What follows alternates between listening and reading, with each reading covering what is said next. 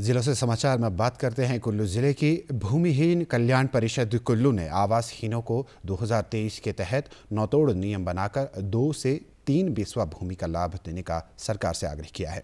आज कुल्लू में आयोजित एक बैठक में भूमिहीन कल्याण परिषद के अध्यक्ष ओम प्रकाश शर्मा ने कहा कि तत्कालीन मुख्यमंत्री वीरभद्र सिंह के द्वारा विधानसभा में विशेष स्तर के दौरान अवैध कब्जा धारकों पर कार्रवाई न करने के आदेश दिए गए थे। उन्होंने कहा कि उच्च न्यायालय ने प्रदेश सरकार को अवैध कब्जा धारकों को रेगुलर करने के लिए पॉलिसी बनाने के निर्देश दिए थे, लेकिन पूर्व सरकार ने इस संबंध में कोई पॉलिसी नहीं बनाई। हमारे लोगों ने आज बैठक की और इस बैठक में ये पास हुआ है कि जो लड़ाई हमारे बड़े लंबे समय से चली है, हम जीत की तरफ़ जा रहे हैं।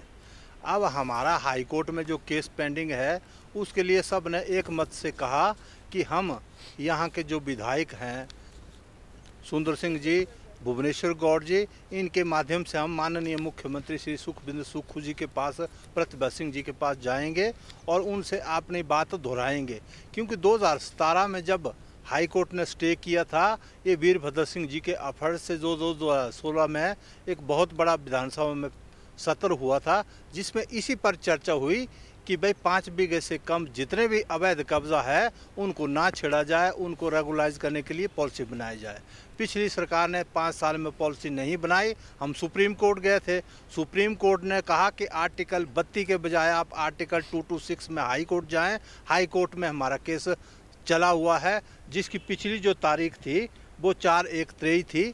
अब हमारी अगली तारीख जो है अठाई तारीख को है। इसलिए हम कहना चाहते हैं कि सब मिलकर जितने गरीब हैं, वो अपने किराए भाड़े से हम माननीय श्री सुखविंद्र सुख जी के पास जाएँगे और प्रतिभा सिंह जी के पास जाएँगे, उनके पास जाके अपनी बात कहेंगे। हमारे जो नजायज़ कब्जे हैं, उनके म्यूटेशन होने चाहिए, ये ज़रूरी है।